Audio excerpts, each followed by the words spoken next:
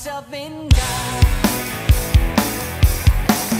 Living in the limelight, the universal dream for those who wish to see. Neil Peart was one of the greatest drummers the world has ever seen. He was a drumming innovator, a writer, and a lyricist, and to all of us, he was the professor. Ladies and gentlemen, the professor on the drum kit. So if you believe that Neil is a genius by the end of this video, let me know by hitting those like and subscribe buttons so we can continue shining light on drumming legends just like Neil Peart. Let's dive in.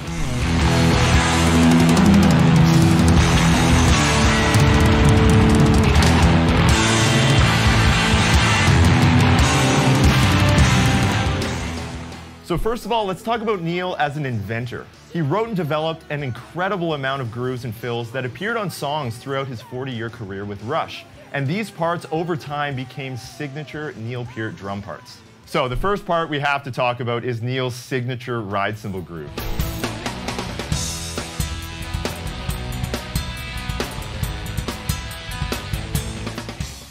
And whenever he talked about this in interviews, he described it as something that he would use at medium tempos, something that would really bring forward motion to the music and give it a lift. And the funny part about this is he was actually trying to learn something completely different when he came up with this, and this is what he stumbled upon by accident. And you're going to hear this pattern on songs like YYZ, La Villa Strangiato, Spirit of Radio, Subdivisions, Between the Wheels, Time Stands Still, and so many other Rush tunes. So check this out. This is Neil's signature ride cymbal groove.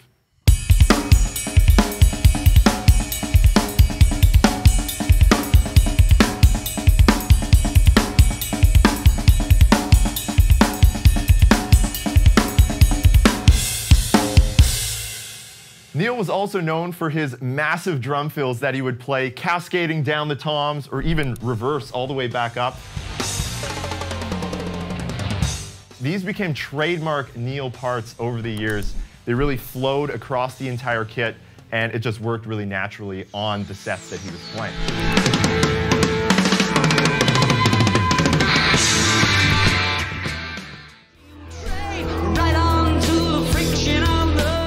Next up, we have to talk about Neil as being a designer. Now, any of you who are familiar with sort of the process that Neil went through when creating his drum parts, you know that he always had a purpose in mind, and that was supporting the music that he was playing. And this often involved building tension throughout a section before releasing into the next section of the music. A perfect example of this is the way that Neil plays through Alex Lifeson's guitar solo on the song Tom Sawyer. This is what Neil plays through that section, and it's brilliant.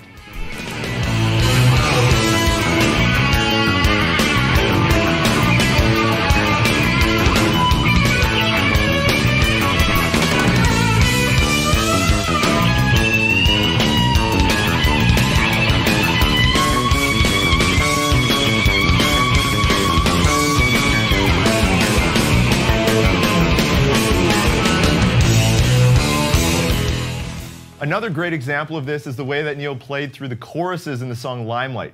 And the shifts between a relaxed 3 4 groove and a driving 4 4 groove are really a work of art that Neil created.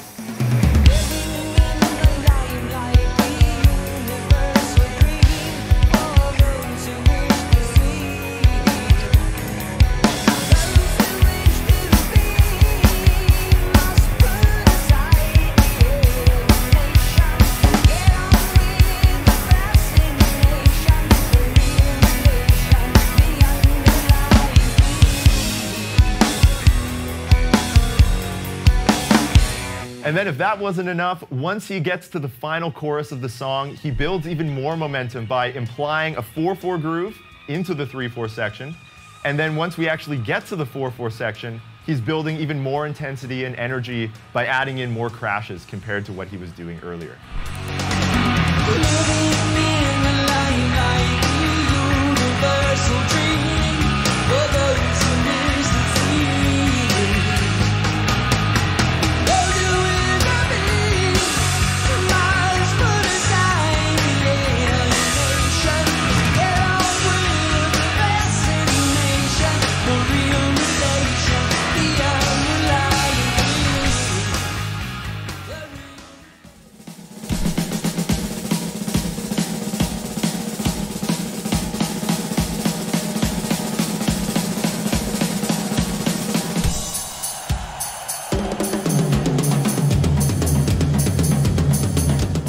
Now, I think we would all agree that Neil was one of the most technically proficient drummers of all time, and he proved that to us over his 40 years that he was playing with Rush. Now, back in the 70s, he was already playing some really intricate grooves and patterns on tracks like 2112 and La Villa Strangiato.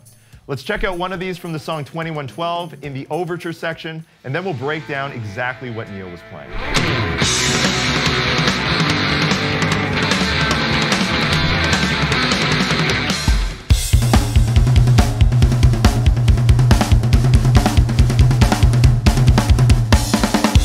Now, moving forward to the 90s, we're still seeing Neil push the boundaries of his drumming on tracks like Bravado from Roll the Bones. Now, the outro on this track in particular is an absolute nightmare in terms of independence. And when you watch Neil play this, you'll see his left hand move between the hi hats, the floor tom, and the snare. His right hand is going between the bell of the ride, down to the floor tom, sometimes playing up to the crashes. It's just ridiculous.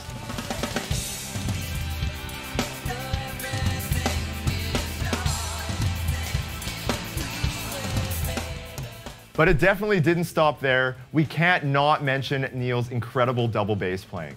You can hear this all the way back on the Fly By Night record on tracks like Anthem and on a ton of other records throughout Rush's career.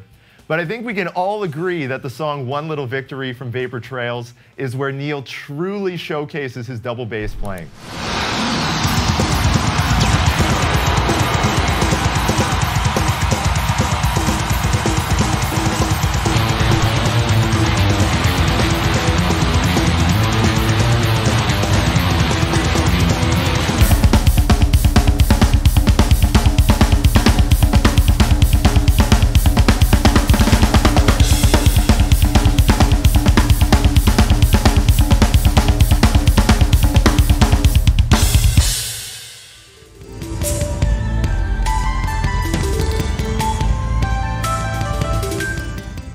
Next, we're looking at Neil as an explorer. Now, any of you who are familiar with Neil's playing know that he wasn't only interested in the actual drum kit.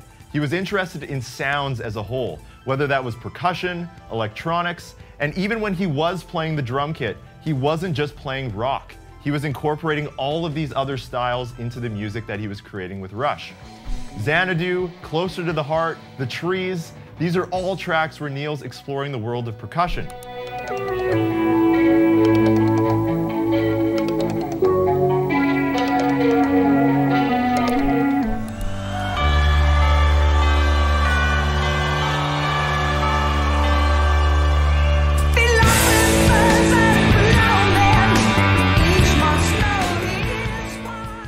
As we move into the 1980s and we start talking about records like Grace Under Pressure and Power Windows, we can't not talk about electronic drums. Because at this point in time, this is when Neil really started to embrace modern technology.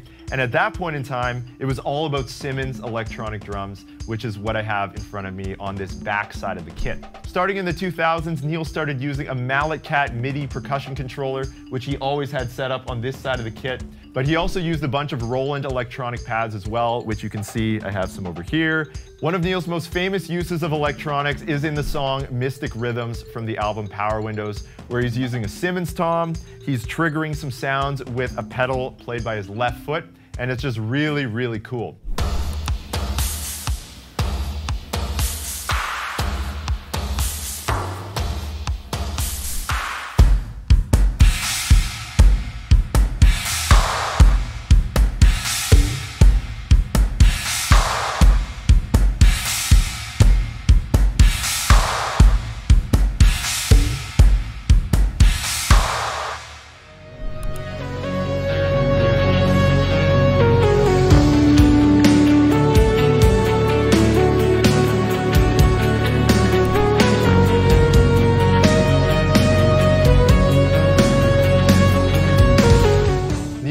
Neil's inventive drum parts, how he shaped them, the sounds that he used, and his technical abilities are all part of what made Neil so great.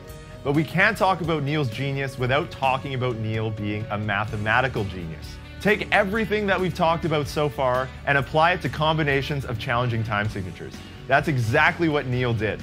It started in the 70s on tracks like By-Tor and the Snow Dog, Cygnus X1, Book 1 and 2, Xanadu, and of course, La Villa.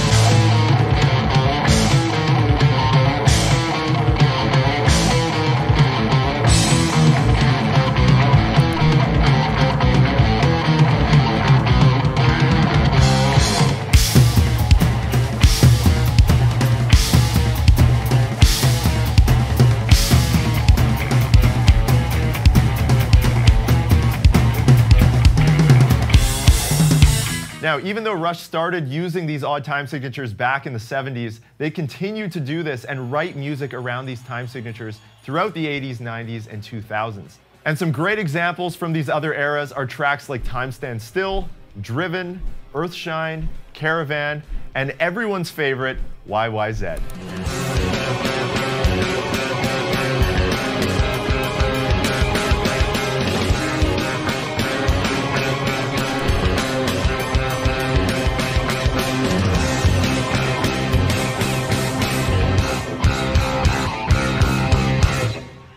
Neil Peart was one of the most important drummers in history, and for me, he was one of my own personal drumming heroes.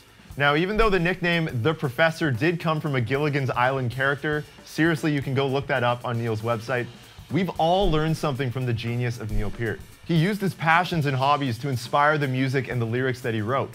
He was a constant student, always trying to become the best that he could be.